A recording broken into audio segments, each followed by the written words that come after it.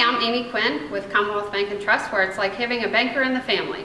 I'm pleased to introduce Rhonda Chisenhall with American Cancer Society and Tyler Gastright with Jetson Engineering. Welcome to the new best class ever. A previous supervisor of mine with the American Cancer Society um, has made a great impact in my life. She was a true visionary and a very highly intelligent um, individual.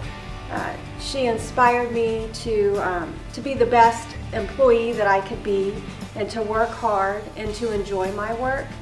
Um, she challenged me also to strive for more, to achieve greater things, and she had confidence in me that I would be successful.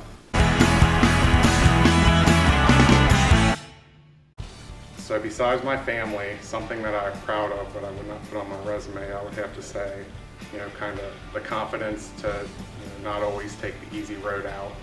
Um, when you sometimes take the road that is a little bit more challenging, you have a tendency to learn more from taking that route and to, you know, expand, I guess, your skill set that maybe you would not have gotten when you took the easy road.